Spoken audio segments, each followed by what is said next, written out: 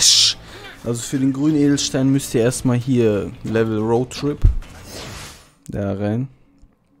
Und ihr müsst bis zum Ende des Levels kommen erstmal. Also hier, das skippe ich hier erstmal.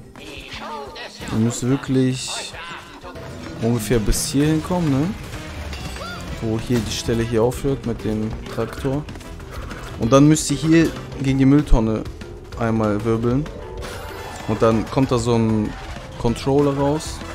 So eine Fernbedienung, Fernsteuerung. Und dann müsst ihr da die ganze Zeit auch gegen wirbeln. Und dann seht ihr da, kommt auch schon der Stein.